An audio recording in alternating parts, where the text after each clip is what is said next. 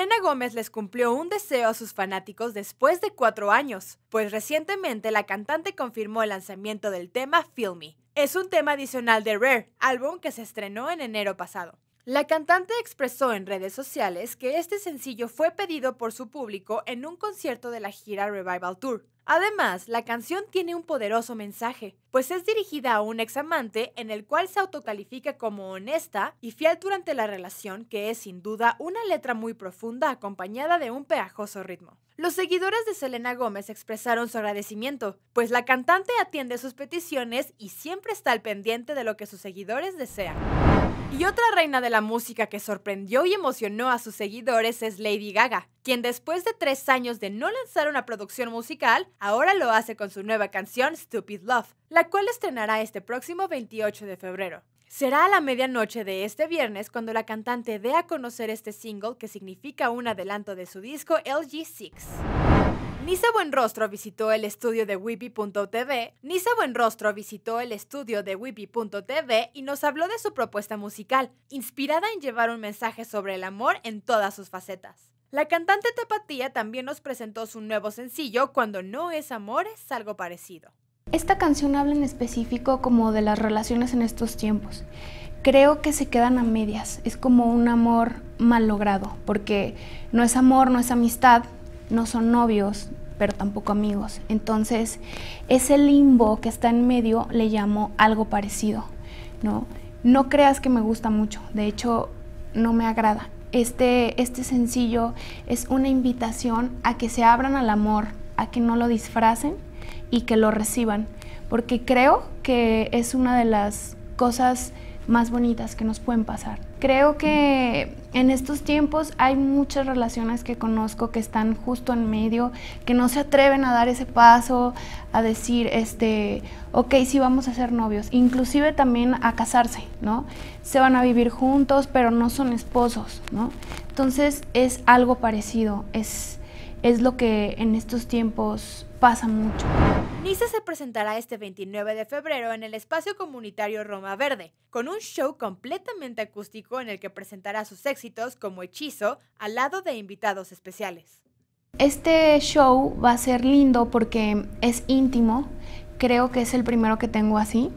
Van a estar otras mujeres muy talentosas como Loli Molina, como Leiden. Em, es acústico, estamos preparando algo, algo bonito. Es la primera vez que voy a tocar algo parecido con público. Y, bueno, a mí me encanta este tipo de, de, show porque hay más momento de poder explicarle a tu público de dónde viene tal canción y es una manera en la que se puede conectar mejor, ¿no? Porque se identifican más y escuchan la historia y dicen, ok, sí, sí me pasó. El hombre invisible es una próxima película estadounidense de terror y ciencia ficción, escrita y dirigida por Lee Wanell, que llega a los cines este próximo 28 de febrero. La película es protagonizada por Elizabeth Moss y Storm Wraith y está basada en la novela del mismo nombre de H.G. Wells y precisamente es un remake libre del Hombre Invisible de 1933. La trama cuenta la vida de Cecilia, una mujer atrapada en una tóxica relación con Adrian Griffin, un rico y brillante científico que también resulta ser un sociópata manipulador. Cuando éste se quita la vida, deja a Cecilia una jugosa parte de su gran fortuna. El único requisito para recibir esta herencia es que ella no sea declarada como incapacitada mental. Y por fin llegará a las salas de cine mexicanas una cinta animada italiano-francesa dirigida por Lorenzo Matotti, basada en el libro infantil italiano The Very Famous Invasion of Sicily de Dino Bussati. La famosa invasión de los osos en Sicilia narra la historia que durante un invierno gélido, la comida de un grupo de osos que viven en Sicilia se termina y hacen hasta lo imposible para no morir de hambre, a tal grado de atacar un pueblo. Pero no solo eso, el hijo del rey oso está secuestrado y harán todo lo posible por salvarlo de la tierra de los humanos. MGM confirmó que ya está desarrollando una tercera entrega de la franquicia Creed y será escrita por Novel Satch Bailey. Los detalles sobre la historia particular de esta nueva entrega no han sido revelados, pero continuará contando la vida de Adonis Creed interpretado por Michael B. Jordan, el hijo de Apollo Creed. También se desconoce si Ryan Googler o Steven Caple Jr. volverán para dirigir esta tercera parte o si se elegirá a otro talento para el puesto de dirección.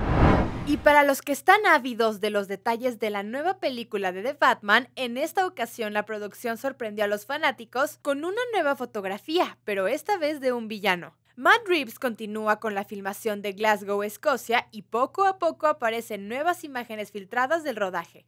La última corresponde a la víctima de un brutal asesinato a manos del acertijo. Con esta imagen ya se confirmó la presencia de Paul Dano como el acertijo y la nueva foto desde el set podría mostrar a quién sería su primera víctima.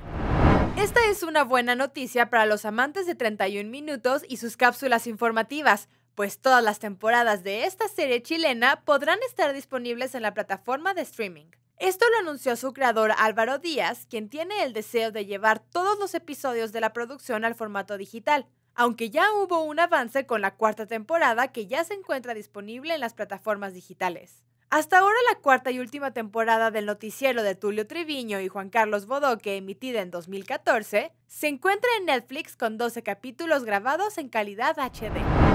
Netflix adquirió los derechos de transmisión internacional de la nueva serie australiana Stateless, que es producida por la Australiana Broadcasting Corporation y que cuenta como protagonista con Kate Blanchett.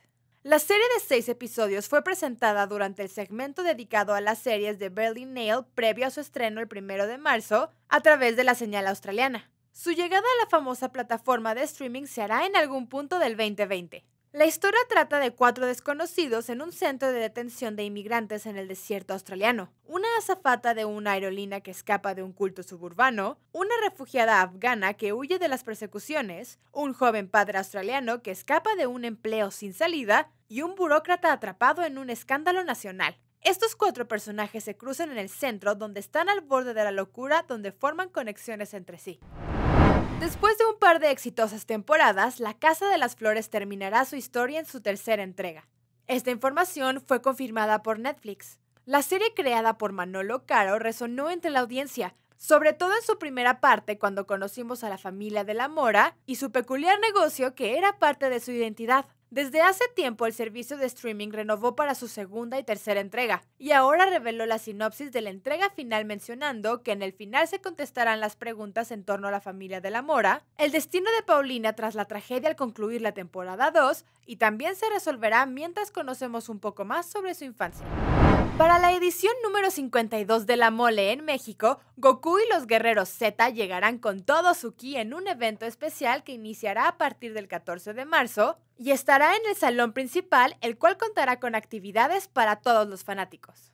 Vamos a tener desde venta de productos, obviamente todos los del grupo de juguetes, este, van presto, coleccionables, playeras, gorras, etcétera, pero va a haber diferentes actividades, como juego de cartas, que ya el gaming, zona de gaming, trivia challenge, va a haber photo opportunities, green screens, o sea, es para que vaya toda la familia, para que pase un súper buen rato a los fans que les encanta. En Whippy.tv te damos a conocer el primer tráiler del nuevo juego de Samurai Jack. Samurai Jack Battle Through Time tomará lugar justo antes de la batalla final de Jack y el demonio Aku, el cual atrapará al samurai en diferentes líneas del tiempo a través de la historia de la humanidad. Es ahí donde nosotros como jugadores tomaremos el mando del samurai para superar cada nivel a través de varias eras hasta derrotar a Aku.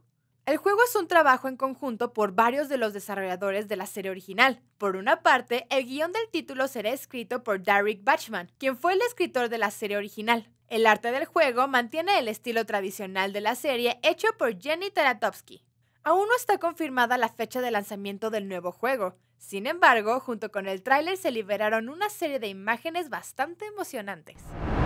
El próximo 25 de abril se estrena la segunda mitad del anime Sword Art Online Alicization War of the Underworld, a través de múltiples plataformas japonesas. Adicionalmente, el 11 de abril se emitirá un episodio especial y el 18 de abril un episodio recopilatorio del primer arco. El anime está adaptando el arco Alicization y cubre los volúmenes 9 a 18 de las novelas originales de Reiki Kawahara, los dos primeros arcos se emitieron de octubre a marzo del 2018 bajo el título de Reflection. Se calcula que este especial llegue a Occidente en algún momento del mes de mayo. La historia continúa en Resident Evil 3 Remake, una producción que comenzó su desarrollo antes de que se comercializara la versión de la segunda entrega y que se presentara a uno de los enemigos más terroríficos de la franquicia, el gigantesco Nemesis. Aunque el juego no llegará a las tiendas hasta dentro de unos meses, los que quieren abrir boca podrán hacerse con algunos de los artículos que Numbskull acaba de anunciar. Se trata de un conjunto de tazas y gorras inspiradas en Resident Evil 3 que se pueden adquirir a través de la página web. No solo están disponibles para los usuarios de Norteamérica, sino que también se hacen envíos a los demás territorios del planeta. Resident Evil 3 Remake saldrá a la venta el 3 de abril en Xbox One, PlayStation 4 y PC. El título vendrá en varias ediciones, entre otras una edición coleccionista exclusiva de Game.